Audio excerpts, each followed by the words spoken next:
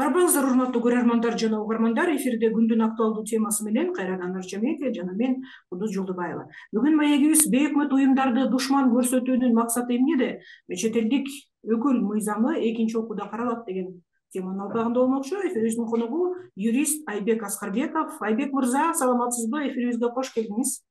Саламатсызбы айбек мырза мына жогорку кеңеште коммерциялык эмес уюмдар жөнүндө жана мыйзамына жана кылмыш жаза кодексине өзгөртүү киргизүү тууралуу мыйзам долбоору биринчи окууда каралып өткөн эле анда чет элдик өкүл деген түшүнүк киргизилген чуулгандуу мыйзам долбоору экинчи окууда азыр мына каралганы турат он сегизинчи декабрда баягы толуктоолорду киргизип экинчи окууга комитеттин кароосуна киргизишет экен бир топ эл аралык уюмдар э, долбоорду баягы чакыртып алууга үндөгөн эле да.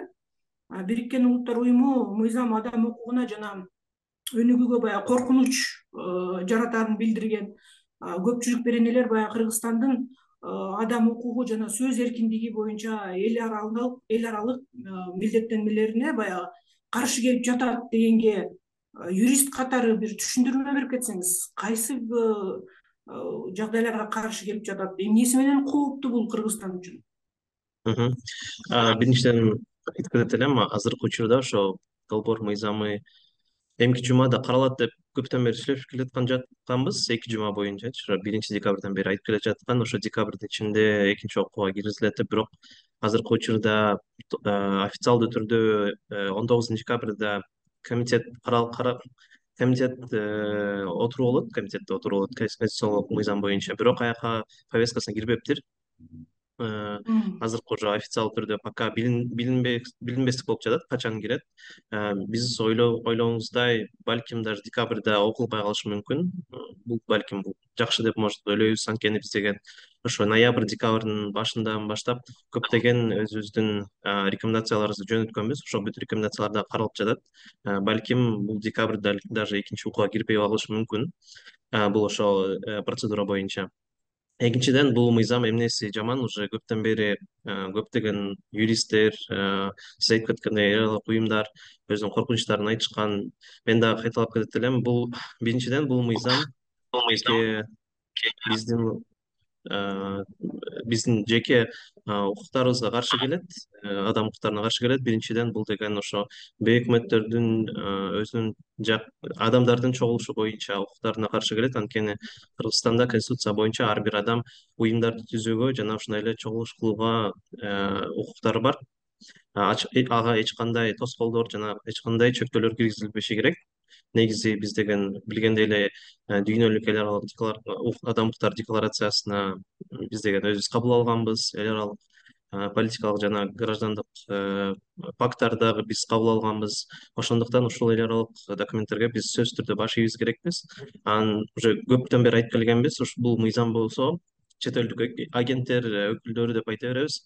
Бул мыйзам сөзсүз түрдө ошо биз баш ийген эл аралык мыйзамдарга каршы келет бул мыйзам биз айткандай эле токсон пайызы россия федерациясындагы чет элдик агенттер мыйзамынын копиясы болуп калды. Тилекке каршы агент деген сөз эле өкүл деген сөзгө алмашылып калды. Экинчиден ошол кылмыш жаза кодексине жоопкерчилик кирип жатат. Бул дагы өзүнчө нонсенс. Анткени көбүнчө депутаттар дагы каршы болуп чыгып атат бирок өз автору надир эже киргизилиши керек деп айтып жатат. Бирок биз айтып кеткендей эле бул экинчи жагы дагы ошол э, эң коркунучтуусу ошол кылмыш жаза кодексине жоопкерчилик кирип жатканда бул дагы э, кандай бир көптөгөн суроолорду пайда келип жатып атат бул дагы негизи ошо адам укуктарына дагы каршы келет. Ошо жана сиз айтып кеттиңизби ошо жана кылмыш жаза кодексине дагы өзгөртүүлөр киргизилди депчи анан бул катуу талкууну жаратты да анан кылмыш жаза кодексине толуктоо киргизүүнүн кажети жок деп баягы жогорку сот да позициясын билдирди башкы прокуратура да позициясын билдирди. Бирок демилгечилер эмнегедир муну кабыл алган жок да анан чын эле кооптоно турчу эмне чын эле он жылга кесип салышабы ошондой. Эгерде азыр ошо азыркы редакция боюнча окусак анан өзүбүз юридикалык талдоо кылсак анда сөзсүз түрдө мындай көптөгөн суроолор пайда болуп жатпайбы э, негизи юридикалык техникада биз билебиз да сөзсүз түрдө мыйзам жазсаң э, андай эки маани бербеген сөздөр жазышың керек да. Эгерде политикалык жумуш деп жазсаң эгерде кандай бир пропаганда деген сөздөрдү жазсаң аны деген изилдөөчүлөр там тергөөчүлөр алар деген соттогу өзүн өзүнүн ой карашынча мындай билдирме бере беришет да. Анан бул деген эң эң мындай коркунучтуу жагы да любой мыйзамды кабыл алып жаткандачы ошон үчүн мыйзам так жана туура жазылышы керек. Ошон үчүн эгерде ошол кылмыш жаза кодексиге өзгөрүүлөр кирилсе анда көптөгөн адамдарды ошо сен атайын бир пропаганда кылып жатасың кандай бир туура эмес иштерди кылып жатасың деп ошо жаба бергенге укук берилет да. Эми анын ошо кандай ишке ашырылат конечно биз билбейбиз. Бирок ушундай эгерде коркунучтар бар болсо анда сөзсүз түрдө мыйзамды кайра баштан карап чыгыш керек сөзсүз түрдө бул репрессияларга жол ачат турбайбы э? Ошондо э, негизи айтсак ооба биз билгендей эле эми репрессия бирөө жакпаса азыр деле болушу мүмкүн да э, эгерде мыйзам кирсе анда мыйзам чегинде уже жапкан болот да. Ошол эң коркунучтуу болот. Бирок э, биз жакшы жери көбүнчө депутаттар ошо кылмыш жаза кодекске өзгөртүүлөрдү киргизүү боюнча каршы болуп атышат ушунусу жакшы атат а сиздин оюңузча таптакыр эле ошону алып салышабы же жанагы мөөнөтүн мен менин оюмча алышат. Анткени башкы прокуратура каршы чыкты. Жогорку сот каршы чыкты. Уже эки ошо эң чоң орган каршы чыкса анда көбүнчө депутаттар да өзүнүн позициясын белгилесе анда уже в принципе эми билесиз да кандай бир э, переговорлор болот анан уступкаларды өзүлөрү беришет анан ушул жагы балким уже кетилет да э, чийилет анан сиз жана бул жанагы орусиянын э, мыйзамына көчүрүлө алды деп өзүңүз да айтып кеттиңиз анан негизи э, дагы кайсы чет мамлекеттерде бул мыйзам иштейт анткени демирге чогуу назира нарматова айым айтып атпайбы бул бүт эле чет мамлекеттерде бар ошол эле э, демократиялык өлкөлөрдө бар депчи анан бирок ошолор мисалы ошол эле орусияда бул мыйзамдын кесепети кандай болду? Коомчулукка кесепеттери жаман да негизи азыр силер билгендей эле любой эгерде өзүнүн оюн айткан адамдардын баары чет элдик агент деген статуска ээ болуп калышты. Башында юридикалык э, өкүлдөр юридикалык э, лицалар эле болчу юридикалык уюмдар. Азыркыча көрсөңүздөр азыр россияда любой физикалык деле адам любой адамдар деле чет элдик агент деген статус алып калышты да. Блогерлер кандай бир активисттер биз билебиз да биз кыргызстан көптөн бери сөз эркиндиги менен абдан мындай э, баары билип тааныйт. Биякта э, ачык баарын айтканга укуктары бар экенин баары билишет ошондуктан. Ошол биздин бүт келген бааларга ошол мыйзам кичине каршы болуп чыгып калып атат да. Ошон биз бул мыйзам негизи э, чет элдик кандай чет элдик дейм да бейөкмөттүк уюмдар кыргызстанда бейөкмөттүк уюмдар коммерциялык эмес уюмдар баары негизи ачык иштөөгө сөзсүз түрдө отчетту бергенге баары макул болуп жатышат да негизичи эч ким эчтеке э, мындай каткысы келбей эле каяктан акча алып аткан каражаттарын эч ким жаппай эле баарыбыз баары бүт э, чет элдик э, уюмдар биздакта иштеп жатабы баары эле ачык иштегиси келип жатат да. Бул кеп ошо мыйзамда болуп жатат да мыйзам башкача жазылып калды. Ошол эле америкадагы мыйзамды айтышат дайыма ошол жакта дагы чет элдик агенттер боюнча мыйзам бар фара деген мыйзам ооба бар андай мыйзам. Бирок анын иштегени башкача ошол жүз жылдан бери иштеп келе жаткан мыйзам э, бир дагы жолу э, бейөкмөттүк уюмга катары эч качан мындай колдонгон эмес ал жердеги ошол мыйзам только атайын бир э, адамга колдонушу мүмкүн атайын ошо политикалык чет элдик политиканы өзгөртөм деп атайын кандай подрывной деятельностьти өзү өлкөдөн алып барат деп ошол статуска ээ болсо ошондо гана ошол статуска ээ болот да америкада анын дагы мыйзамдары дагы эме статьялары дагы башкача да беренелери башкача. Ошондуктан кыргызстанда дагы эле азыр мыйзамдар бар уже бизге мындай биринчи аргумент мындай болуп атпайбы назира эжете кыргызстанда бейөкмөттүк уюмдар каякка каражаттарды каяктан алат каяка коротот деп бизге айтпайсыңар деп айтып жатат да. Биз уже комитетте жүргөндө сөз депутаттар менен сүйлөшкөндө айтканбыз. Бул э, чындык эмес негизи. Азыркы учурда бейөкмөттүк уюмдар э, алтыдай атайын э, отчетторду тапшырышат. Салык кызматтарына статистика кызматтарына мин юстка налог бүт жака соц бүт уюмдарга кандай отчет бериш керек баарын беришет экинчиден бүт бейөкмөттүк уюмдар өзүнүн экономикалык операцияларын безналичный расчет кылышат. То есть алар атайын акчаны мындай наличка катары эч качан эч кимге беришпейт. Банктар банк аркылуу эле иштешет. Анан гкнб бүт финпол бүт фин разведка бүт ошо операцияларды электронный катары банктардан карап чыкса болот. Каяка акча кетет каяка кандай кетип атат анын баары алар контролдошот. Анан үчүнчүдөн былтыр дагы мыйзам өзгөрүлгөн да сиз билгендей эле атайын ошо коммерциялык эмес уюм он жетинчи беренесине атайын өзгөртүү киргизилген.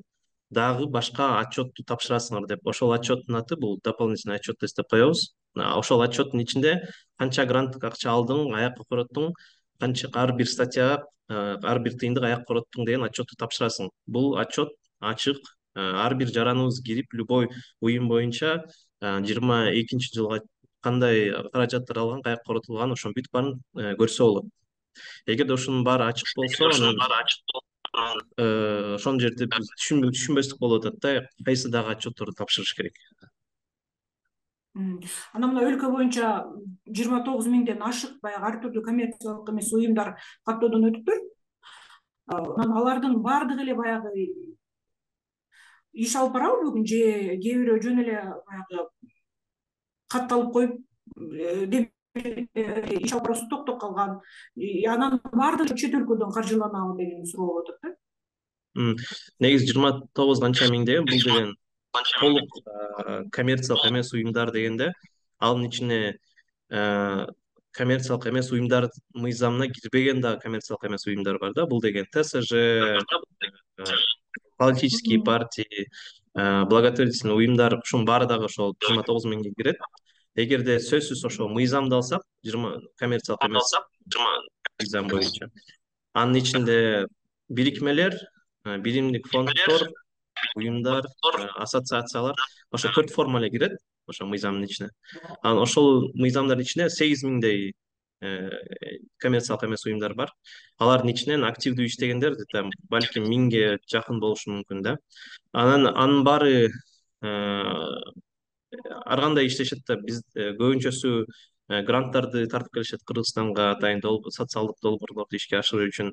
Кээ бирлөр э, атайын мындай пожертвованиялар менен иштешет көбүнчө кыргызстандыктар өзүлөрү аларга акча беришет. Алардын финансылык туруктуулугу ар кайсы источниктерден алган алганга укугу бар да? Анан эми көбүнчө баягы ошо бейөкмөт уюмдар деп атканда булар жана адам укуктарын коргоого багытталган ишмердүүлүгү анан жана э, коомчулуктун элдин аярлуу катмары менен иштеген уюмдар да көбүнчө элечи мына жана ошол эле укуктук жардам көрсөтүү. Анан эгер мыйзам кабыл алынып калса алардын ишмердүүлүгү токтоп калган коркунуч барбы?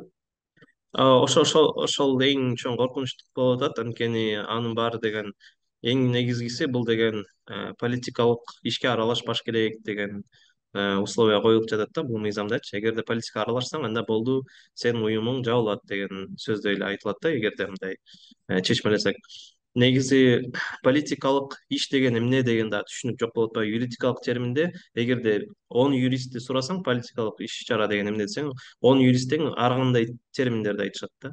Ошонусу эң коркунучтуу да. Э, биз деген эгерде мисалы деген бизде майып адамдар менен иштеген уюмдар бар. Алар деген эгерде бир долбоор каралып жатса алар ошо өзүлөрүнүн фокусный долбоорунда кандай бир талкууларда катышса бул уже политикалык иш чара болуп калат атпайбы алар деген политикалык иште катышып жатышат өзүлөрүнүн укуктарын коргоп атышат анан ошол жерде көптөгөн несостыковкалар болуп атат да ошол эң коркунучтуу болуп атат анан эгерде политикалык иш чарага бир социальный социалдык бир уюмдар аралашып калса анан политика ошо политикалык ишке аралаштыңар анан силер аралашпашыңар керек деп ошо четке кагып уюмду дагы жоготуп салышы мүмкүн да.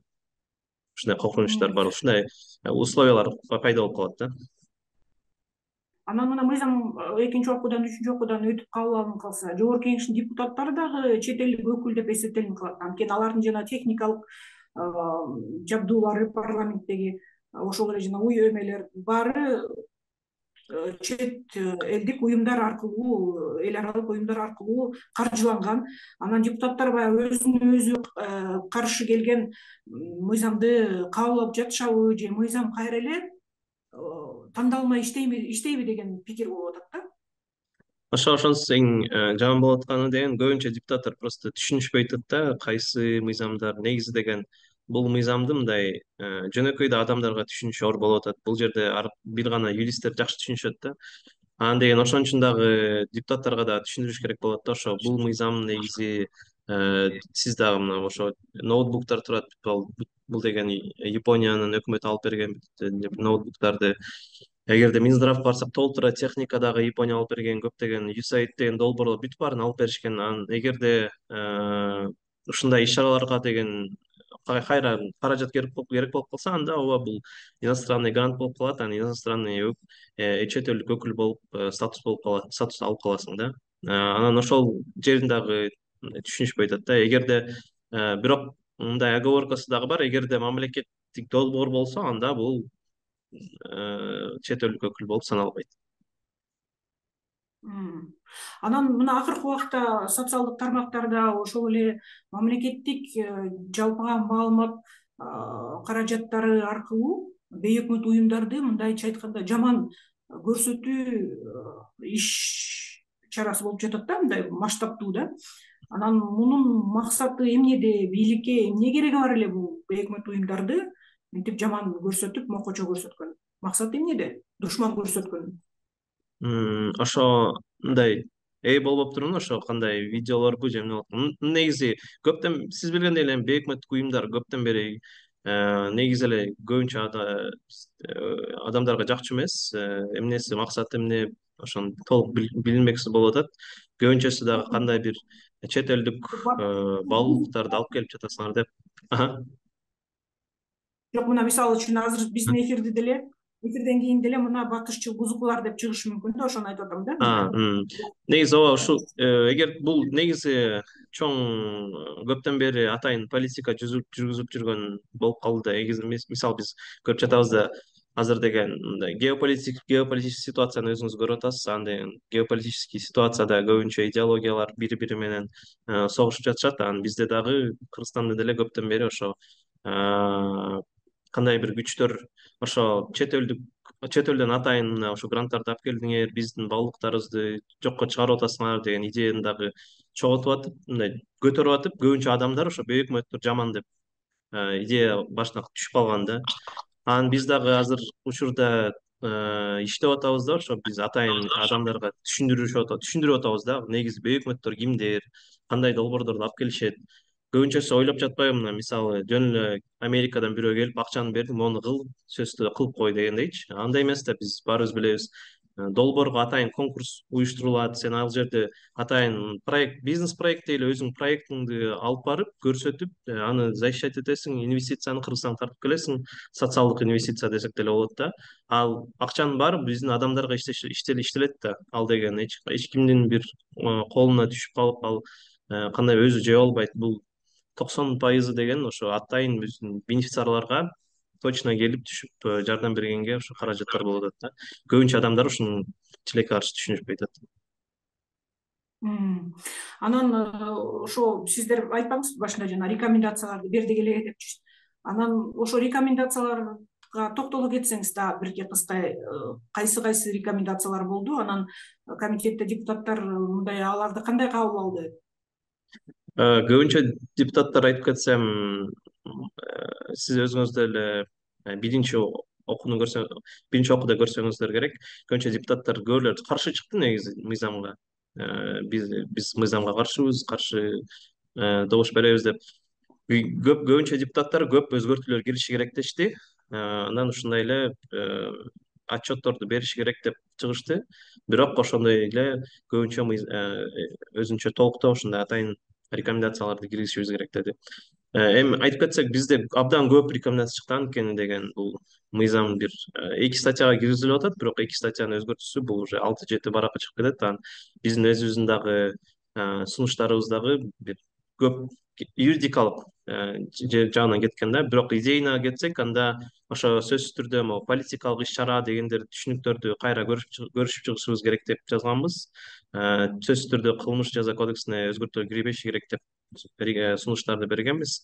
Анан ошол эгерде кандай бир күчтөр болсо ошо эми точно конкретно жазылышы керек да. Мисалы бул адам атайын напрямую там акча алып атайын биздин кыргызстанда бирдеме туура эмес нерселерди кылат дегендей өзүчү мына фарадей америкадагы мыйзамды көрүп атышабы ушундай сыяктуу мыйзамчы а биздин мыйзамыбыз азыркы учурда любой адамды просто кесип салганга мүмкүнчүлүктү берип атат да ушундай болуп атат ошо мисалы үчүн мыйзам кабыл алынып калса чет элдик деген жанагы түшүнүк кирсе мисалы үчүн э, бир адамды ошо ошол эле айтайын э, да коомчулукта укук коргоп укугун коргоп жүргөн адамды мына бул чет элдик өкүл деп табышса демек ал адамды кесип салганга мыйзам жол берип калат.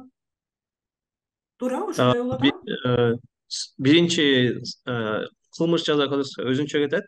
Чет элдик өкүл деген статус өзүнчө кетет. Эгерде чет элдик э, агент же э, өкүл деген статусту алып калсаң анда анда мыйзамдын ичинде өзүнчө отчеттору бар атайын отчеттор.